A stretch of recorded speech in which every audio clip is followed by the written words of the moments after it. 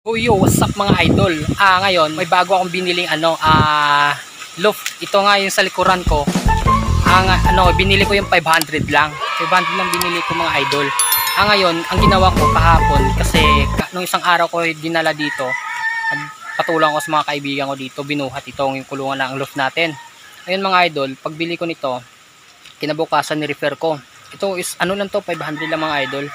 Ayan, ito ngayon na, ah, ginagawa ko ngayon, pinipinturahan ko ngayon kasi para makalipat na natin yung mga alaga nating kalapati kasi doon sila, ayun, loft natin, medyo masikip na.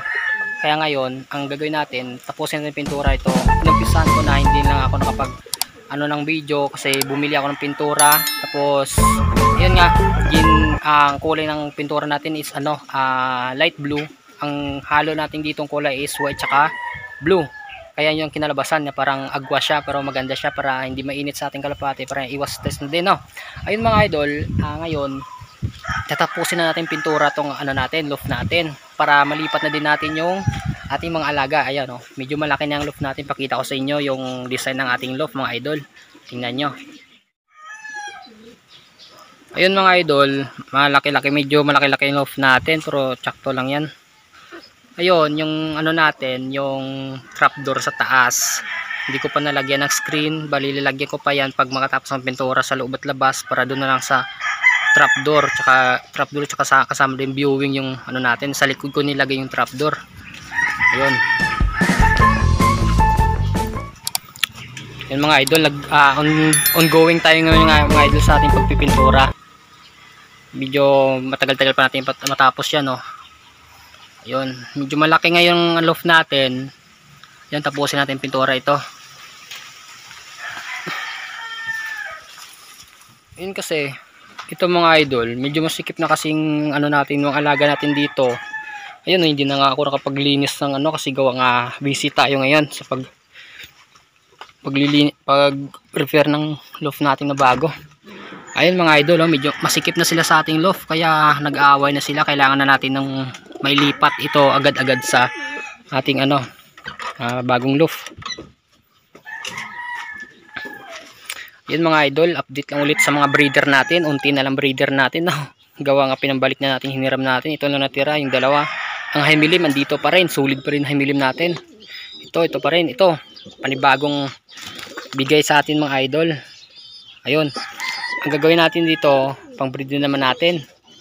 Ayun mga idol may panibagong linyado na naman tayo ayun mga idol ah pusin muna natin yung loft natin para mailipat na natin yung kalapati natin ayun mga idol dahil mag-umpisa na tayo update ko na lang kayo mamaya sa pagtapos na natin pintura dito sa loob update ko na kayo papakita ko na sa inyo yung tinapos na natin yun 72 hours later. Ah, welcome back. Ah, ngayon, ito yung natapos natin sa pagpipintura natin. Medyo kinabos tayo sa pintura. Ah, bali bukas na tayo ulit bibili ng pintura, no? Ayun, ayun pala natapos ko sa loob. Tapos na natin yan, mga idol. Ito, tingnan ninyo. Tapos ko na yan sa loob.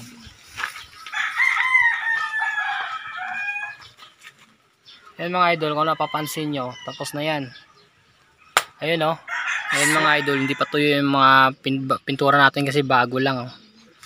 Kaya tsakto lang yan. Hindi na natin siguro pinturahan tong sahig kasi parang din sa dumi nila. Pero gagawin ko dito yung kahoy. Pipinturahan ko yan. Para, yun mga idol. May, may natin gawin tong ating ano trapdoor. Kasi tapos na pintura dito sa labas. Unti na lang. Pintuan na lang yung tatapusin natin ga, ano, pinturahan. Okay na. Pwede natin mailipat kalapati natin. Doon, ah, ano, papakita natin sa inyo yung paglipat natin ng kalapati natin dito para sa bago ating loop medyo maluwang ng ating ano na matutuwa lalo yung kalapati natin yung alaga natin ito mga idol. Ayun lagyan natin bubong mamaya. Ah, medyo mainit pa kasi kaya pahinga muna tayo. Bali bukas bibili tayo ulit ng pintura para ano natin ah, tapusin natin tong pintura natin para doon yung mga hindi pa napinturahan katulad noon do ito sa pintuan uh, mapipinturahan natin. Yun mga idol ito yung update natin sa ating bagong loft ayun uh, medyo matutuwa na kalapati natin gawa nga malaki na at saka may ano may trapdoor na naayusin natin ulit yon Yo, what's up mga idol? Ah, ngayon, ikinabit na natin yung bubong, ayun oh. Ang gagawin natin ngayon doon, ano, ah, alambrihan ko na lang kasi wala tayo, ano, kasi bakal kasi yung gin, ginamit, ah, pinagamitan natin, kaya yun, is alambrihan lang natin, kaya yun mga idol, sumpisa na natin yung paglagay natin yung alambri.